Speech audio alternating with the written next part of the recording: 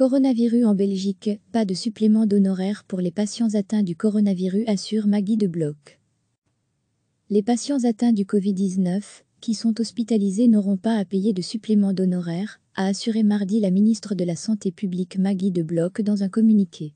Il est important qu'il n'y ait pas de confusion à ce sujet. Ceux qui sont infectés par le coronavirus et qui doivent être soignés à l'hôpital n'auront pas à payer de supplément à cet hôpital par la suite, parce qu'ils ont séjourné dans une chambre individuelle, selon la ministre. Compte tenu du risque d'infection, une chambre individuelle est médicalement nécessaire. Dans ce cas, les suppléments d'honoraires sont toujours exclus. Degré degré degré toutes les infos sur l'épidémie de coronavirus en Belgique et dans le monde recevez chaque matin l'essentiel de l'actualité.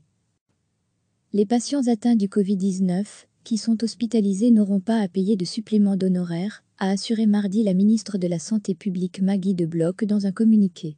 Il est important qu'il n'y ait pas de confusion à ce sujet. Ceux qui sont infectés par le coronavirus et qui doivent être soignés à l'hôpital n'auront pas à payer de supplément à cet hôpital par la suite, parce qu'ils ont séjourné dans une chambre individuelle, selon la ministre.